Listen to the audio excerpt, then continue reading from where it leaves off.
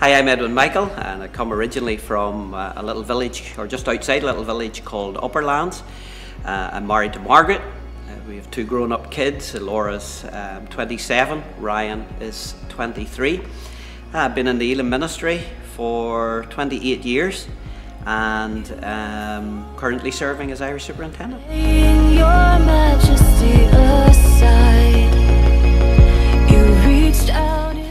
Pastimes, uh, I play a little bit of golf, don't get as much time for that as, uh, as I used to.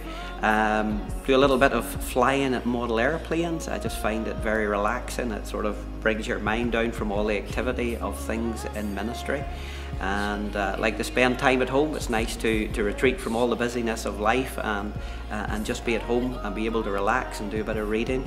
I have a love for Israel. I love to take people out there and even though that may seem like work, I find it very relaxing whenever we take trips out there and I enjoy the fellowship and the, the opportunity for people to experience that land. I'm a Man United supporter and uh, really looking forward to the new season with the new manager. I believe it'll still take a little bit of time to, to get it where he wants it to go but uh, we're excited about being under his leadership uh, in the days that lie ahead.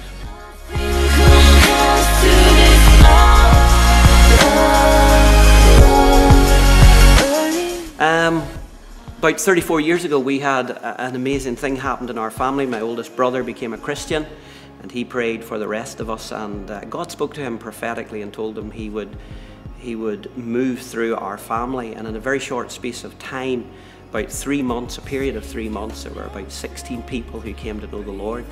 Um, it was a very exciting time. I went from a life of, I had been singing around pubs and clubs from a very young age, early, early teens, uh, a complete transformation. Suddenly God was real and we came into the Pentecostal experience. It was very, very, very exciting.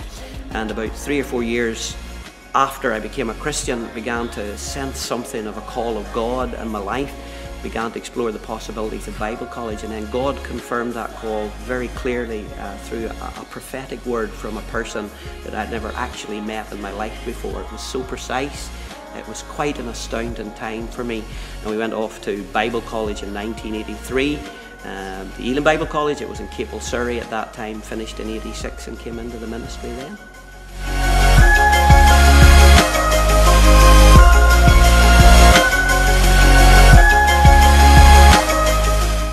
Yeah, uh, when I finished in Bible college, um, I came back to Ireland. Uh, Eric McComb was the Irish superintendent at that time, and I received a phone call and he said I was going to Market Hill.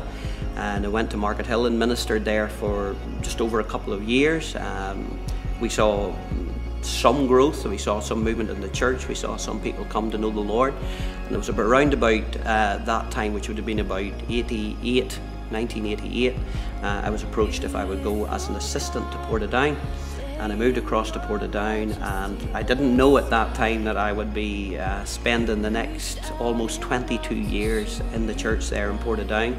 I went in as assistant with charge for youth and uh, moved on from that to associate minister and then eventually uh, led the church for four and a half, five years uh, after the retirement of Bob McMullen, the previous senior minister.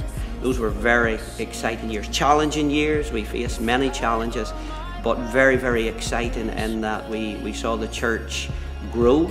Uh, over all of those years, we saw many, many people come to the Lord, just saw what the grace of God could do in really transforming lives. Very exciting. And uh, then, just over three years ago, um, at Irish Conference, a vote was taken and my name was up. I was nominated for Irish Superintendent, so I took over that role three and a half years ago. And uh, that has been a complete change, a completely different style of ministry.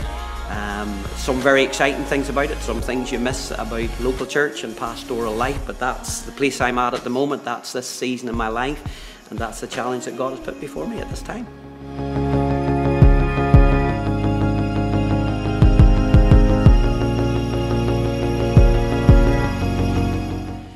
Obviously, stepping into a role like Irish Superintendent has, has a lot of challenges with it. Uh, I mean, I've known Elim for all of those years I've ministered in it.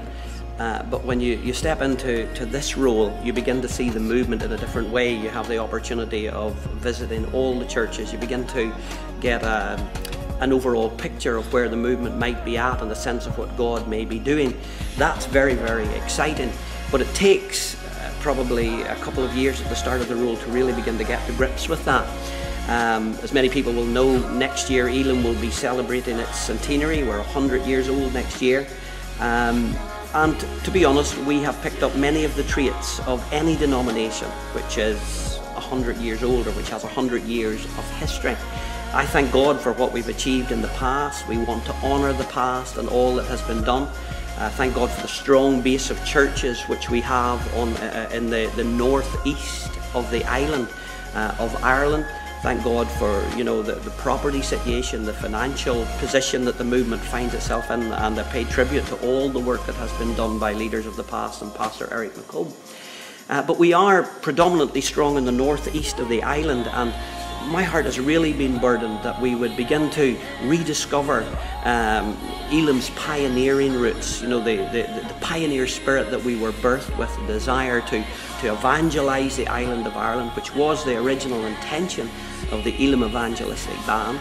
And so we, we have a vision to look to the west and to the south of the island, that we would really begin to move out again, that we would see new churches planted and see many people uh, come to know the Lord. Really, we thank God for the strong base we have in the northeast, but we need to break out of that and we need to be willing to step out and see where God will lead us. We're living in a new day politically in the island. Um, and we are beginning to look at the island more holistically in terms of evangelizing the whole island. It's very exciting. Uh, it means maybe changing some mindsets, some of the ways that we think. But there's an excitement and there's a stirring towards that, which I believe is a confirmation that God is doing something uh, in the lives of leaders within our movement at this time, and we're excited about where that's going to take us uh, in the coming months and in the coming years.